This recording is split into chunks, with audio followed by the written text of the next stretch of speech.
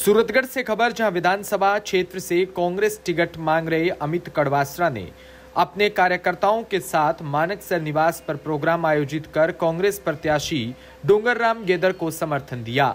सैकड़ों कार्यकर्ता कार्यक्रम में पहुँचे। कांग्रेस डोंगरराम गेदर ने विश्वास दिलाया कि आपके द्वारा दिए गए मान सम्मान को ठेस नहीं पहुँचने दूँगा। कार्यक्रम में नगरपालिका चेयरमैन परसाराम भाटिया ने भावुक होकर डोंगरराम गेदर को जीत दिलाने की अपील की। कार्यक्रम में नगरपालिका उपाध्यक्ष सलीम कुरेशी, पूर्व प्रधान साहब राम पुनिया, परमजीत सिंह रंधावा, सरपंच पूर्व ब्लॉक अध्यक्ष वेद कड़वासरा भी मौजूद रहे।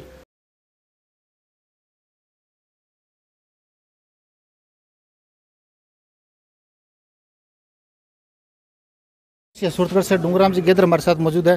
डूंगराम जी, आज जैसे अमित जी कड़वासरा जो कांग्रेस पार्टी से टिकट मांग रहे थे, आज उन्होंने समर्थन दिया है, क्या कहना चाहोगे? श्री अमित कड़वासरा जी कांग्रेस पार्टी के अंदर हैं, कांग्रेस के वरिष्ठ नेता हैं, कांग्रेस के वरिष्ठ कार्यकर्ता हैं, और काफ़ी समय से आप कांग्रेस पार्टी साथ लगे हुए हैं। जो आदमी किसी भी पार्टी का पदाधिकारी है, कार्यकर्ता है, उसका हक है कि वो अपनी पार्टी से टिकट मांगे। और इस हक के साथ उन्होंने टिकट के लिए आवेदन किया। और जो भी हाईकमान ने फैसला किया, आज उस हाईकमान के फैसले को मान करके अपनी पूरी की पूरी टीम के साथ, है, इस प्रचार अभियान में आज से जुटेंगे, ये कार्यक्रम आपने बनाया है। और इसके लिए अमित कड़वासरा जी का श्री वेद प्रकाश कड़वासरा जी का और पूरी की पूरी टीम का धन्यवाद देना चाहता हूँ कि उन्होंने आज चुनाव की पूरी कमान संभाल ली है कि भी हम सब जितने भी हम प्रत्याशी थे हम सब मिल के इस चुनाव को जिताएँगे और सूरतगढ़ के अंदर ऐतिहासिक जीत होगी। तो चुनाव के बीच में जैसे अभी आपने देखा होगा जो ईडी की रेड बहुत बड़ी जो आपके प्रदेश अध्यक्ष के ऊपर उस पर क्या कहना है? देखो जब से 2014 में केंद्र में भारतीय जनता पार्टी की सरकार बनी है हम दो और हमारे दो की सरकार बनी है उसके बाद पूरे देश के अंदर एक डर का माहौल पैदा किया जा रहा है। संविधानिक संस्थाओं को ख़त्म किया जा रहा है संविधान को ख़त्म किया जा रहा है और संविधानिक संस्थाओं का गलत इस्तेमाल करके और चुनाव को प्रभावित करने का काम हमेशा से होता है। और आज अभी राजस्थान की बात नहीं जहाँ जहाँ भी विधानसभा के चुनाव हुए जहाँ जहाँ भी राज्यसभा के चुनाव हुए जहाँ जहाँ भी और कोई चुनाव हुए, उन चुनावों के से पहले उस प्रदेश के अंदर ईडी का सीबीआई का इनकम टैक्स का, इन सारे के सारे विभागों का इस्तेमाल केंद्र की सरकार करती आई है। लेकिन हमारे मुख्यमंत्री श्री अशोक गहलोत साहब, हमारे ऊर्जावान प्रदेश अध्यक्ष श्री गोविंद सिंह डोटासरा जी, ऐसी धमकियों से डरने वाले नहीं हैं। और श्री अशोक गहलोत साहब ने कहा कि हम लोगों ने उस दिन दो गारंटी राजस्थान की जनता को दी थी। इसलिए आप लोगों ने दो परिवारों के घर पर छापे लगाए हैं। कल हम सात, यानी गारंटी और प्रदेश को देंगे। आप सात घरों पर और छापे मार कर बताओ, और उसके बाद हम और ज़्यादा गारंटी देंगे, और और ज़्यादा जोश के साथ कांग्रेस पार्टी के हमारा हाईकमान, कांग्रेस पार्टी के हमारे पदाधिकारी, कांग्रेस पार्टी के हमारे कार्यकर्ता इस चुनाव की तैयारी में जुट गए हैं। और किसी भी तरह की, चाहे सीबीआई हो ईडी हो, इनका गलत इस्तेमाल करने वालों को सबक सिखाने का काम राजस्थान की जनता करेगी। जी, धन्यवाद। तो ये थे हमारे साथ डूंगराम जी गेदर जो आज अमित कड़वासरा ने जो समर्थन दिया इनको, लगातार इनका जो प्रचार प्रसार जारी है, सूरतगढ़ विधानसभा के अंदर अभी तक भारतीय जनता पार्टी ने यहाँ से अपना प्रत्याशी मैदान में नहीं उतारा, और डूंगराम गेदर कांग्रेस प्रत्याशी लगातार जनता के बीच में जा रहे हैं और समर्थन की अपील कर रहे हैं। लगातार हमारे साथ जुड़े रहिए कैमरामैन शोगी के साथ मैं सुभाष चौधरी। डीपी की न्यूज़ और अभी जो विधानसभा चुनाव है, उसको लेकर सरगर्मियाँ तेज हो चुकी है। तो सूरतगढ़ विधानसभा के अंदर जो कांग्रेस प्रत्याशी है, उसके समर्थन के अंदर एक बहुत बड़ा प्रोग्राम रखा गया और जो यहाँ से टिकट मांग रहे थे अमित जी कड़वासरा, उन्होंने आज यहाँ पे समर्थन दिया है डूंगराम जी गेदर को। तो उस पर हमारे साथ है अभी इंद्रजीत रंधावा जी। रंधावा जी यहाँ से दावेदारी कर रहे थे। सब क्या कहना चाहोगे? आज यहाँ कड़वासरा जी के यहाँ प्रोग्राम था। कांग्रेस पार्टी की तरफ़ से पूरा इन्होंने अपना और अपने समर्थकों को इकट्ठा करके डूंगराम गैदर जी को समर्थन दिया है।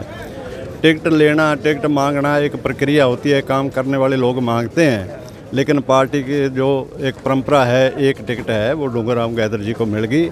सारे लोग खुश हैं, सारे हम साथ हैं, बड़ा अच्छा प्रत्याशी है, और सबसे बड़ी बात है भी कांग्रेस पार्टी का बड़ा अच्छा माहौल है। सूरतगढ़ के साथ साथ पूरे राजस्थान में कांग्रेस पार्टी का बहुत अच्छा माहौल है कांग्रेस पार्टी ने जो पाँच साल में काम किए, इतनी अच्छी अच्छी योजनाएँ लेके आए, उन योजना के बलबत्ते पर आज बड़ा अच्छा माहौल बन गया सारा। बिल्कुल पूरा समर्थन लोग दे रहे हैं, लोग खुश हैं, जहाँ भी हम जा रहे हैं, बड़ा अच्छा माहौल सारी जगह लग रहा है। कांग्रेस की सरकार भारी बहुमत से रिपीट हो। जो आपने मतलब कांग्रेस प्रत्याशी डूंगराम गेदर को यहाँ से जो समर्थन दिया है और आप दस जने जो थे यहाँ पे दावेदारी कर रहे थे, उसके अंदर आप भी एक मज़बूत दावेदार के रूप में माने जा रहे थे कांग्रेस पार्टी की तरफ़ से। तो आज जो कांग्रेस पार्टी को जो कार्यक्रम रखा है, आपके जो कार्यकर्ता यहाँ पे पहुँचे, क्या कहना चाहोगे? हम कांग्रेस पार्टी के लिए दस लोग दावेदारी कर रहे थे, लेकिन टिकट तो हम सबको पता है कि पार्टी ने एक आदमी को देनी थी। कांग्रेस पार्टी ने माननीय डूंगराम जी गैदर साहब को टिकट दी। उसके बाद हम सभी जो मेरे साथ लगे हुए कार्यकर्ता थे, भाई थे, जो मजबूती से मेरे से कंधे से कंधा मिलाकर मेरे साथ चल रहे थे, उन लोगों के फ़ोन आए। मैंने भी उनसे संपर्क किया कि हमें क्या करना चाहिए। तो सभी लोगों का बहुत अच्छा मैसेज आया कि बोले, भाई, देखो, टिकट दस लोग मांग रहे थे, एक को मिलनी थी कोई बात नहीं, पार्टी ने अच्छा निर्णय किया है। अगर डूंगर राम जी को दे दी तो कोई बात नहीं। और हम सबको मिलकर पार्टी का साथ देना चाहिए।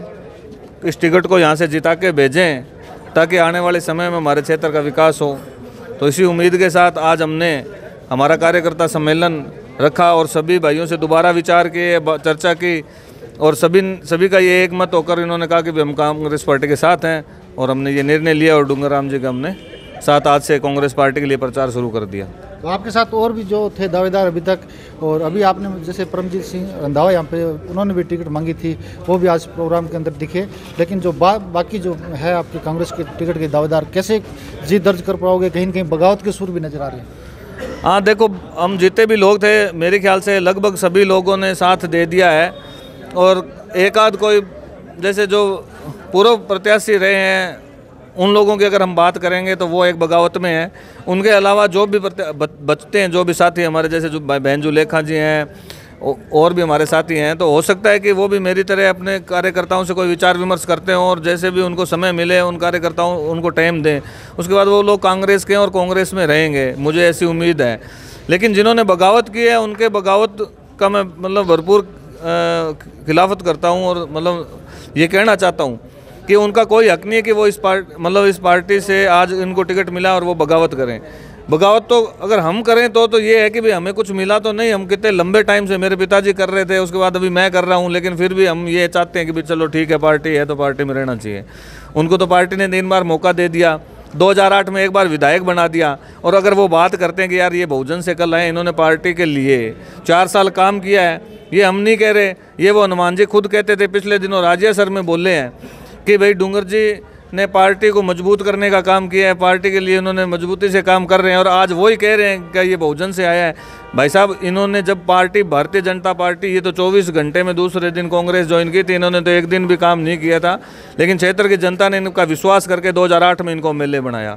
लेकिन ये अपने उस काम के ऊपर खरा नहीं उतरे तो आज उसका नतीजा ये है, फिर भी पार्टी ने दो बार, दो दफ़ा और इनके इनको मौका दे दिया फिर भी ये चुनाव जीत नहीं पाए तो पार्टी ने प्रत्याशी चेंज कर दिया तो कोई गलत नहीं किया। पार्टी भी ये चाहती है कि भी कोई नया प्रत्याशी आए वो चुनाव जीत कर आए तो हम सरकार को रिपीट करें और जन भावनाओं का समझते हुए जनता का काम करें किसानों के हित में काम करें और जो बेरोजगारी है उसको कहीं ना कहीं हम इस क्षेत्र में प्रदेश में छुटकारा मिले। धन्यवाद।